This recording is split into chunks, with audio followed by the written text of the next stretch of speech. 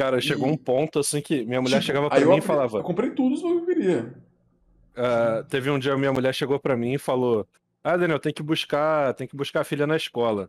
Aí eu falei, pô, busca lá você. Aí ela, ah, mas eu não tô podendo dirigir. Não, não lembro o motivo que ela não tava podendo, mas ela não tô podendo dirigir. Tá. Aí eu falei, pô, pega um Uber.